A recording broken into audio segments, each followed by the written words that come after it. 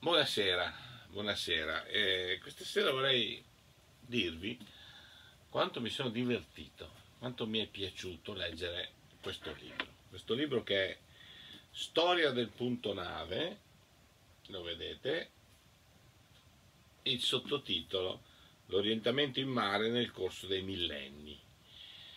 Allora, cos'è il punto nave? Il punto nave è, se noi prendiamo una matita, eh, possiamo in un punto qualsiasi in mezzo all'oceano, quel puntino lì rappresenta dove siamo noi. Allora, il punto nave vuol dire il punto dove si trova una nave. In altre parole, significa sapere dove si è. Nell'immenso mare bisogna avere un'idea di dove si è. E se si ha un'idea di dove si è, si ha un'idea anche della rotta che si vuole percorrere. Ai tempi nostri eh, non dico che sia una stupidaggine, ma è banale, il punto nave basta schiacciare un bottoncino e il GPS ci dice esattamente la latitudine e la longitudine e quindi sappiamo esattamente dove siamo.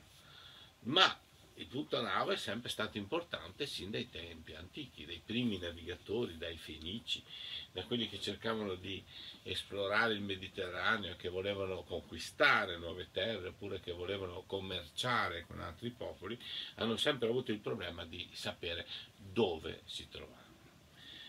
E finché navigavano vicino alla terra, avevano i punti cospicui, riuscivano a orientarsi con una roccia, con una città, con una qualche cosa visibile, ma in mezzo al mare come si fa?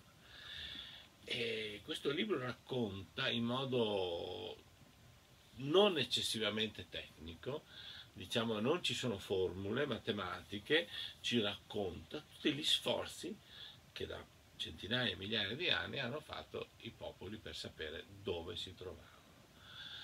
E cosa più interessante, per esempio, è che se è vero che hanno risolto abbastanza presto il problema della latitudine, cioè quanto a nord o a sud si trovavano, beh, hanno impiegato moltissimo fino al XVIII secolo per imparare invece dov'è eh, la possibilità di trovare il loro punto nella longitudine, quanto a est o quanto a ovest si trovavano.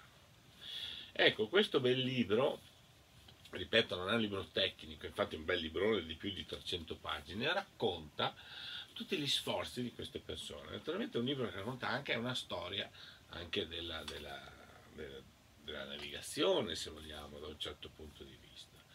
Può interessare non soltanto chi va in barca, chi è interessato ai problemi legati alla navigazione, ma anche chi è interessato ai problemi di storia, per capire come questo mare, e stiamo parlando non soltanto del Mediterraneo, questo mare in qualche modo è stato possibile eh, solcarlo ed è stato possibile eh, riuscire ad arrivare nel punto giusto. Una volta pensate che tentare di andare a Roma e trovarsi ad Atene, quindi qualcosa di assurdo per noi, era possibile. Gli errori che si facevano erano molto, ma molto, ma molto gravi.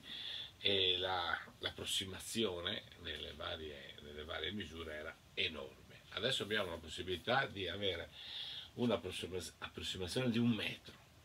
I GPS attuali ci dicono un metro, quindi anche dentro una nave ci sono tanti punti perché se camminiamo da prua a poppa il GPS cambia, ma in più rispetto alle nostre necessità, rispetto alle necessità di chi naviga per diporto.